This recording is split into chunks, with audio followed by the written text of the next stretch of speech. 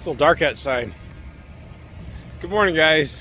We're gonna try to do something a little bit relaxing, easier going, different. All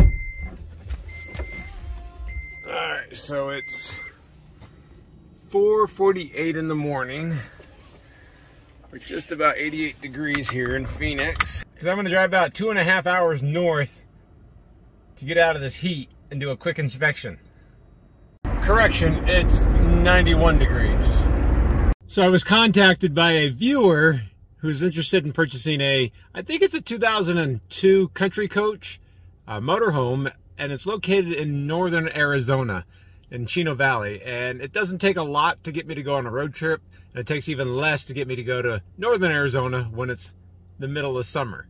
So it's been about a year since I went up to Sedona to go look at a Fleetwood RV for Doug Sewell for Sewell Motor Coach. So I'm going to go ahead and leave early because I need to miss all the traffic going through Phoenix. We're going to go ahead and head up to Chino Valley, Arizona, which is just north of Prescott, Arizona. It's along that 89 corridor, which is not too far away from Sedona, but obviously not as nearly the paradise that Sedona is. Definitely my favorite part is that I'm going to be leaving this already 90 degree weather in the valley at 4 o'clock in the morning, and we're going to make it all the way up to northern Arizona a few hours later, and it's going to be 67 degrees. Kind of fun. The last time I was out here in Chino Valley was a few years ago. I had my world's smallest toy hauler hooked up to this Prius, in fact. We were picking up a washer and dryer to put in my son's house. Now this is a privately owned motorhome. Uh, I'm being asked to inspect just a little outside my normal wheelhouse of doing dealer support uh, or doing mobile service around the East Valley of the Phoenix area. But it did seem like a good opportunity to help a, a viewer out and take a look at this 2002 Country Coach Intrigue in a little bit cooler weather anyways. So let's go ahead and take a look at it. Now I was kind of coming into this uh, inspection a little bit blind, but I did not expect to find this. This is an incredibly special Country Coach Intrigue. What makes it so exceptionally rare is that this is a short 32 foot diesel pusher from Country Coach. You don't see that very often. Like all of these, we'll start on the roof and then I'll come back inside to show you the inside really fast. Again, this isn't my house and this isn't my buyer's house yet, so I don't have a lot of time to take you guys through it, but it's really gorgeous. Of course, I do need to put the slide out out before I uh, do the roof inspection.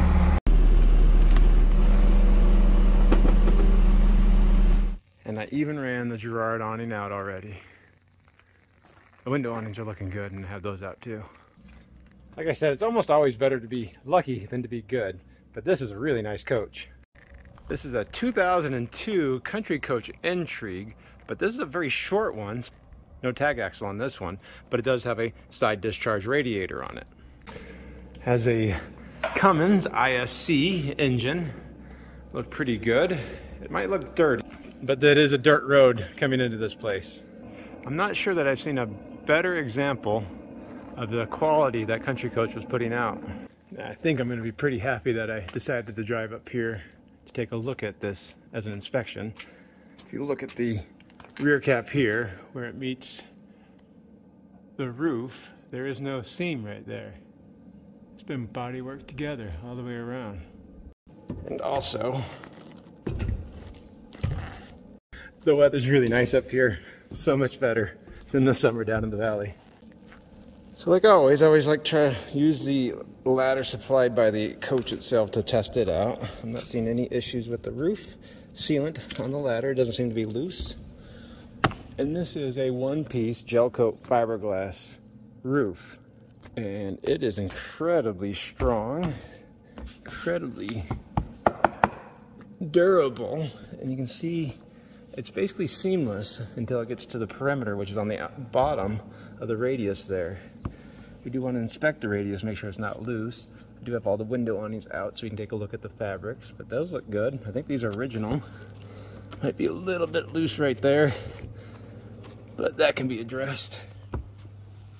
And then it looks like they're using just Dicor lap sealant on the roof. There's no rear seam I have to walk. That's just paint and the paint looks like it's in really good shape. I'm not even seeing any checking. Of course, we always check the clearance lights, make sure they're not cracked, missing, or broken. It does look like they took out the middle clearance light to put a new wireless camera on. I'm not sure that was a good choice, but it's something that can be done. Just because you should have five lights on here. We'll make a note of that. The rest of the lights look good. We probably have the original Penguin roof AC. It's likely a heat pump. I'll make sure that it's not loose. Man, this looks really almost brand new back here. It's probably a little chalky, just a little bit. I just use a wash and a wax. I don't think the owner or the current owner's used it in a little bit. It's just been in their garage back here. The TV antenna, somebody's uh, changed out the TV antenna head because it has a wingman on it. But it looks like somebody's been spraying grease on these gears. And this boot could probably be replaced. But the rest of the sealant looks good. Come over here to the skylight. Look for anything loose. That might be a little loose. But I don't see an issue with the sealant there. It's not cracked. It's looking really good. Again, the lap sealant looks intact. Come over here. That edge molding looks fine. Over on this side. No, it's not loose. Just probably a little bit of clear silicone that's peeling a little bit. You can see they touched it up on that sealant right there. That window awning looks to be in good shape. Even though the rail fabric there is a little bit short now. I did run the Girard patio awning out so we can inspect that while we're doing that. There's just a foam seal that'll fill the gap between the awning and the sidewall to kind of keep rain from going in between there and going down the sidewall down below when the awning's out. Got their two sewer vents. Sealant looks really good. Now this is the Dometic roof AC, or this is the Dometic refrigerator vent cap, and I can tell you it's at the end of its life. It's turned into powder. I could rip this thing off very effortlessly. I'll recommend a new one. Country Coach did put some side marker clearance lights on these. Looks like that one's cracked right there. Come back to here, there is a fantastic vent. No cover on it. We'll check and make sure the base isn't cracked anywhere. Saying it looks good. Again, we have Dicor on here. And again, when I talk about washing and waxing the uh, fiberglass roofs, it's just going to be a wash and wax product. You can paste wax it if you want to, but it's an awful lot more work than I think needs to be put into a roof. That sealant and that vent looks good. Come over to this side. That molding looks intact. I mean, that's just, that's a really good design. I don't know why they, more manufacturers haven't done that. Besides the fact that all the work it takes to mold that perfectly. So this slide out topper is also a window awning. I have it deployed. So it has a little bit of wear on it, but this is another Zip-Dee product. It's a pretty good quality one. Take a look at the seals. I'm not seeing any issue there. I mean, we can be worried about holes, but those are intentional holes so that water doesn't pool right in that area. We'll inspect the seams. Seams actually look pretty good on this. Even the molding right here looks really good. Man, this is a 2002. This one's 20 years old, guys. It's uh, really difficult to believe this thing is 20 years old. It's gorgeous. Come around in front of the refrigerator vent. We're gonna follow this around. I don't see any real damage to the patio awning. The seams aren't separating. Uh, the mount looks good. See a problem with the sealant. Other than maybe it could be touched up right about here in a few areas. There's just going to be a Vita sealant, a Vita uh, clear silicone to top that off, just to keep water from going in between the sidewall and this awning. Has nothing to do about weatherproofing the awning at all. Just to keep the nuance of uh, water in between theirs down. The wind sensor's right there. I mean, we can try to see if it'll work. Hey, look at that, it worked. all that talking I always do about these things broken and never working, but it worked. I Have an air horn here. No real issue, it's not loose. Have a little bit of a spider crack in the fiberglass right there, but That's just gonna be on the surface level. I'm not too worried about that. It clears that front door just fine. They really did make these things better in 2001 and 2002. I think, man, that worked perfectly. We come to the front AC. Looks like still the original one. It's not loose, is it? No, it's not loose. But these uh, shrouds look like they've been recently replaced because they're almost brand new looking. They look good. And we have a Winegard Traveler here, which is definitely not the original one. I probably went through a couple different satellites here because these would have been a Winegard dome unit. And that would have been still newer than 2002 would have had. I'm not seeing an issue with any of the install or the old holes. That's why I said sometimes it's usually better just to leave the old mounts up here because if you take that off now you have three holes that sealant can peel off of really easily whereas this acts as a uh, a plug for those holes on top of the sealant. The air horn looks good. Look at the front cap here. Again, no seam. It's all been body work together to the roof. And we'll go over the edge, take a look at the clearance lights. That one's cracked, that one's cracked, that one's cracked, that one's cracked, and that one's cracking. Take a look down at the windshield. It's not popping out of the gasket anywhere that I can see. Uh, this doesn't look bad. I don't know why somebody touched up the ceiling with a couple different styles. That should have just been all Dicor. And I'm assuming this was a radio antenna or a CB antenna that somebody had removed. I didn't look over the side on this side. Everything looks really good. It's a good opportunity to look down the sidewall too. Uh, if there is delamination or bubbling, you'll see it really easily from this view. And I don't see it. And the side still looks really good here. That was really nice roof. So I was inspecting the roof on this 2002 Country Coach Intrigue. It's 20 years old now, and it looks really good. Somebody's really been taking care of this thing. We found a few minor issues like clearance lights and uh, the refrigerator vent cap, but that's pretty common for this age. Other than that, somebody's really been taking care of this. And yeah, I might be sweating a little bit here, but it's definitely not the same temperature that it is down in the valley. And check this view out. Maybe it's not Sedona, but this is a really gorgeous view to look out at here in northern Arizona. And for me, this is definitely a better choice to be up here in Chino Valley, Arizona, rather than in August heat in Phoenix. So let's get off the roof. I'll take it down inside real fast, but this is a really nice coach. Let's put the rest of these uh, awnings away.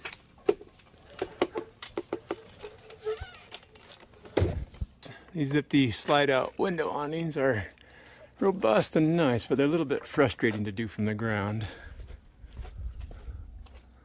The rest of this will go in and out automatically with the slide out. But yeah, even this slide out box looks really good. And that's a metal base under here. I'm telling you, they built these things really well.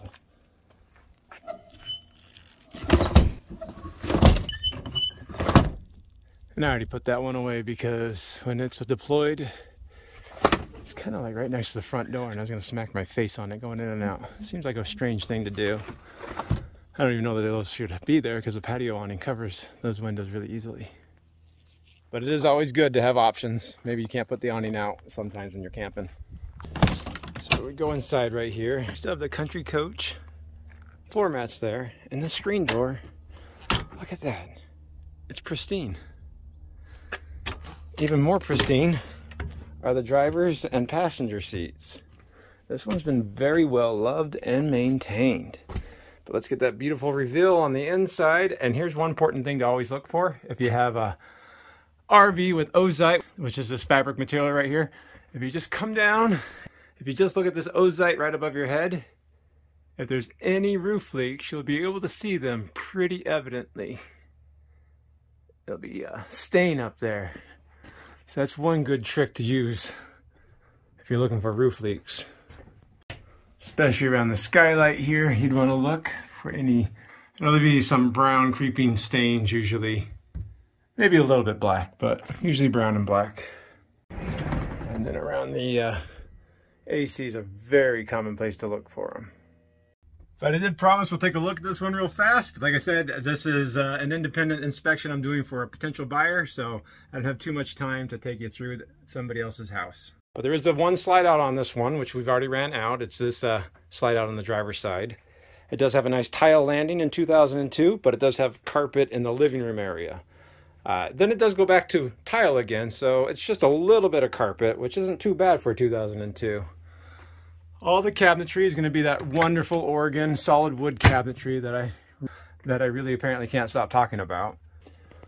The driver's compartment's actually pretty well laid out, easy to see, and it does have the Silverleaf VMS system on there, and even the original Panasonic backup camera radio still working on it. However, they did take the tube TV out and put an LG TV and Blu-ray player on, so that's a really nice upgrade to already have taken care of. Now the carpet itself is in really good condition. This sofa is a cloth sofa, but this fabric is also in good shape. It does turn into a bed. It just jack nice, just like that. Should be a very comfortable bed. Now this does have, unfortunately, CG windows, and on CG windows, it is pretty common to have what I call a seal creep, where the seal between the two panes of glass starts to creep. It's even more evident, I'm sure you guys already saw, in the driver's window right there. That's very, very common. It can be fixed. Uh, I don't know if I'd worry about it too much unless it's impeding vision or if you have a lot of moisture in the glass. Next to the sofa is the galley. This is a solid surface Corian countertop. It does have asymmetrical stainless steel sink. So it's kind of nice. So you can still have countertop space right here and have a working sink over on this side if you need it. Uh, Country Coach did go ahead and give storage cubbies right there for the sink and stove cover. The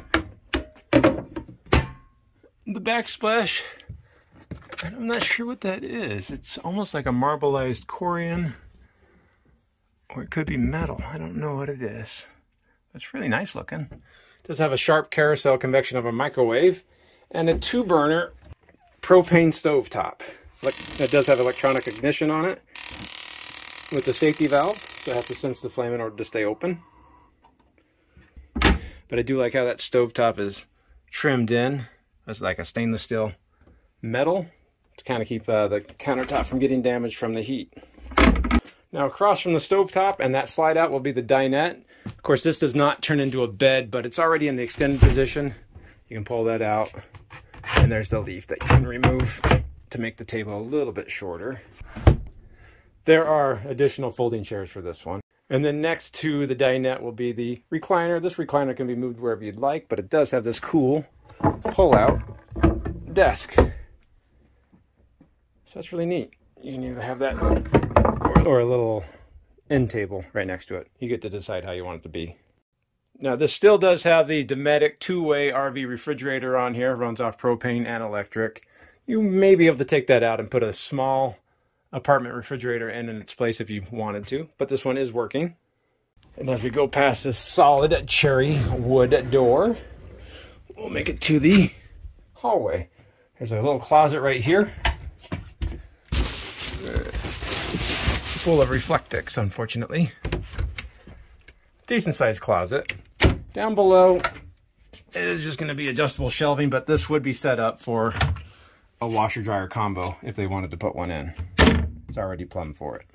Now over here will be an additional closet and it is cedar lined up here. And just behind that closet through the hallway, another solid wood pocket door will be the water closet. This is a Sealand Traveler. So it has the uh, china bowl on it and there's a gravity toilet. Again, this is all three quarter inch veneer plywood, cabinet grade. A lot of medicine cabinets above. Corian countertop with an integrated sink and wonderful beveled mirror backsplash. Very common in this era. Over here is going to be the Neo Angle shower. It is a corner shower. It is fiberglass with our Country Coach 12 volt light in it. Now I did already run the water in there, so I'm not gonna step inside, but this one does have a pretty substantial step up. I'd almost call it 14 inches or so. I don't know, that's, that's a pretty tall step up. But other than that, it's a really nice shower. If I was gonna step up, I could step in right here, and I'm not gonna hit my head going in, but I'm sure coming out I would hit my head. I'd have to duck. Now, as we go past this last solid cherry pocket door, we'll go to the bedroom area. And then we do return from tile back into carpet into the bedroom area, which I do prefer getting out of bed. This is a queen size Tempur-Pedic bed, so it's a nice memory foam bed. Looks like it's in good shape. There's no bedroom slide back here. There's just the one slide.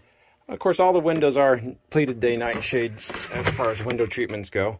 The bedroom windows don't seem to have don't have, seem to have any of the seal creep issue that we had in the front.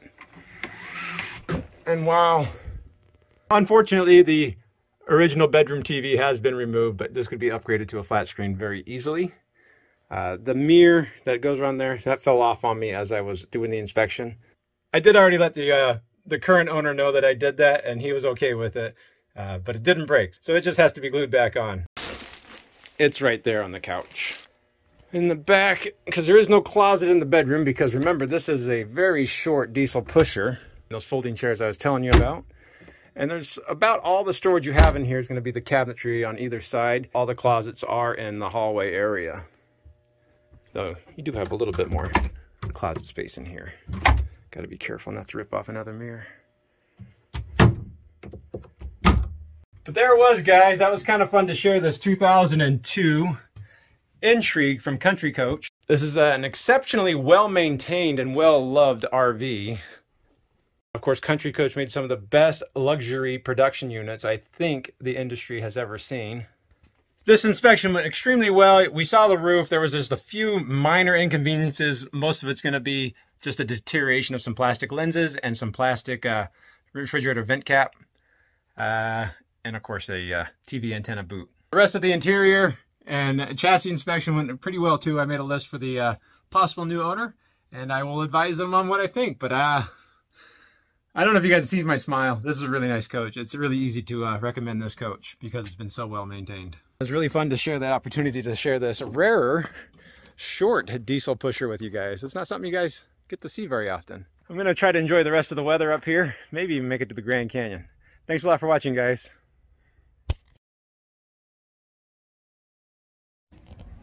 I mean, come on. Would I really drive two hours out of the way just to look at the Grand Canyon one more time in my life?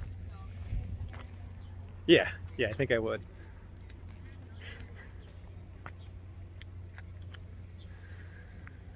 Whew. It's time to go home. It's pretty dark outside because I'm gonna drive about two and a half miles. Like most of these, we're gonna get up on the roof, take out a look, and I think it'll be fun to head up. But but that was really